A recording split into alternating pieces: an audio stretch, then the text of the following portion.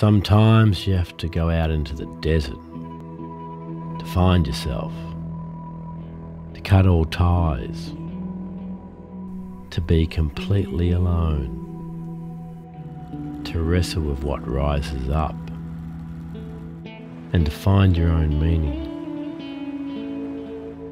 I did it on a motorcycle, and this is my journey.